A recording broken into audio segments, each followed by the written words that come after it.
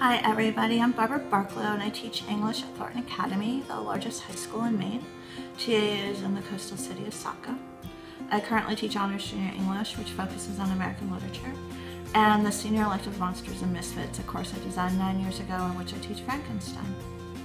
Well, I have taught several adaptations. My favorite is A Little Outside the Box. I used Tim Burton's Edward Scissorhands as my introduction to Frankenstein, interpreting it as a teenage Frankenstein narrative. Plus, it's just a wonderful film students universally connect with. There are many things I'm excited about as I look forward to the Institute. I'm a self-proclaimed academic geek, so I'm looking forward to the coursework.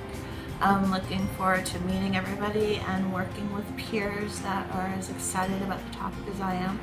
But most of all, I'm really looking forward to bringing what I learned back to my classes and to my school and sharing it with my students.